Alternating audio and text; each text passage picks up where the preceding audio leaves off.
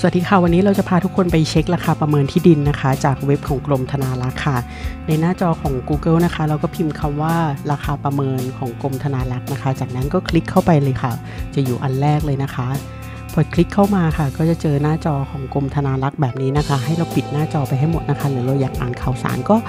ศึกษาดูไปก่อนนะคะ แล้วก็ปิดบุมบนขวานะคะ พอปิดไปแล้วอะค่ะ เราก็จะเจอหน้าจอนี้นะคะ จะเห็นคำว่าเลขโฉนดที่ดินอยู่มุมบนซ้ายนะคะ ตรงนี้เลยค่ะแล้วก็คลิกเลยค่ะ พอคลิกลงมาปุ๊บเนี่ยเราก็จะเจอหน้าจอเพื่อให้ใส่ข้อมูลของโฉนดที่ดินนะคะ ก็จะมีมีเลขโฉนด